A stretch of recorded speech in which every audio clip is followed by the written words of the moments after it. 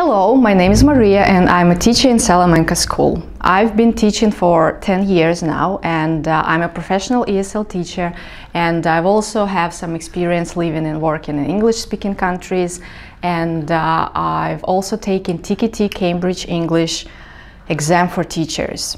I like working with students of all ages and all levels because I think that every student is an individual and uh, it is essential to find the most effective uh, ways and approaches to meet my students' needs in learning English.